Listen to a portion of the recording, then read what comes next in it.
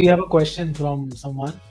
In Yeah. NFTs, crypto, 5 10% people hold more than 90% value. Very easy to manipulate as of now. What do you have to say to that? Yeah, that's true. That is true. Uh, that that's what happens with you know uh, markets as well. Like strong hands are always the strong hands, right? It's not that okay.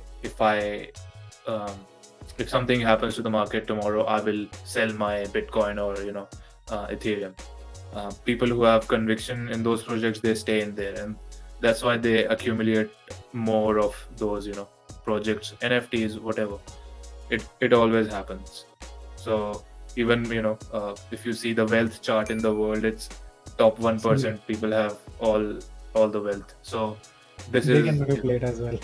yeah so this is the you know human psychology or whatever you can say in this um, it always happens in any Yeah, sector definitely.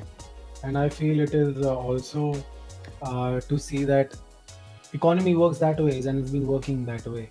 That Yeah. there will be some people who would always manipulate the market, but they can also go to some extent. And as well as if you see uh, the intrinsic value or if you see anything which has less in quantity, which is like Bitcoin is less in quantity, like gold. Yeah. So supply. how much are you willing to manipulate that? Because it's less in quantity i mean.